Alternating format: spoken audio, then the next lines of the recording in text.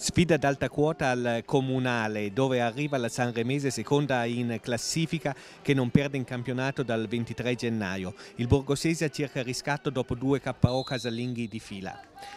La cronaca. Subito in attacco il Borgosesia. Al quinto D'Ambrosio controlla bene in aria ma conclude sul palo. Due minuti dopo il cross di Guattieri viene intercettato con la mano da Mikhailovski. L'arbitro lascia proseguire. Risponde Gagliardi chiamando in causa Gilli.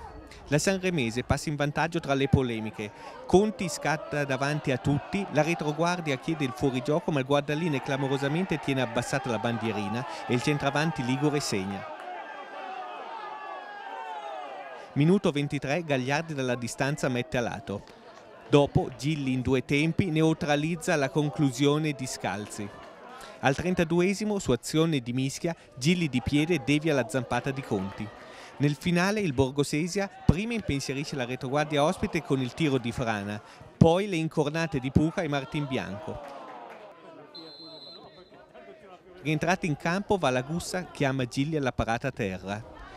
Ancora al centro delle proteste il fischietto di Porto Gruaro che non ravvede un contatto Mikhailovski d'Ambrosio, l'azione prosegue e Manfred calcia centralmente. Al diciassettesimo una pericolosa punizione di Areco viene messa in angolo da Malaguti.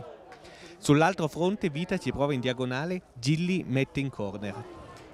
Allo scadere Vita vede Gilli mettere in angolo la sua conclusione. Il Borgosese cerca il pareggio sino alla fine ma festeggiare sono i Liguri che raddoppiano con Gagliardi che approfitta di un errore difensivo.